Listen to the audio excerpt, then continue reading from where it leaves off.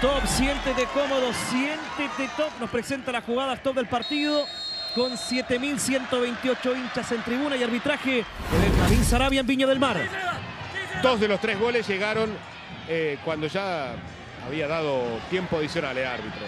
Este, 45 más 1, el de Berríos. La inician por la derecha, descarga hacia la izquierda para Ibacache. En la jugada anterior había pasado y no lo habían visto. Esta vez descarga el centro. Los dos volantes de contención, Bravo y, y Cuadra, metidos al lado de los centrales. Entonces no hay nadie para el rebote. Lo toma Berríos. El zurdazo del volante. Desde la media luna del área la agarró justita, llenita con el empeine. Abajo contra el palo derecho del Mono Sánchez. 1 a 0 para Everton.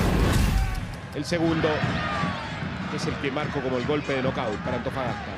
Porque en ese momento había repuntado, había ingresado Tobías Figueroa, lo estaban buscando, había tenido dos situaciones, pero acá descargó Soso Sánchez, centro de Medina, que estaba en lugar de Adrián Sánchez, que había pasado al medio.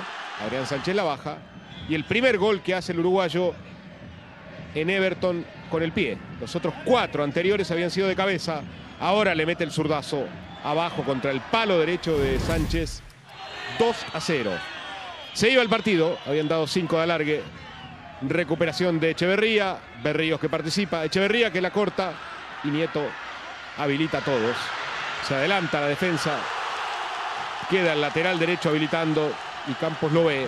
Le amaga de derecha, pasa de largo Nieto y después abre el pie derecho, se acomoda y define contra el palo izquierdo de, Diego Sánchez ahí.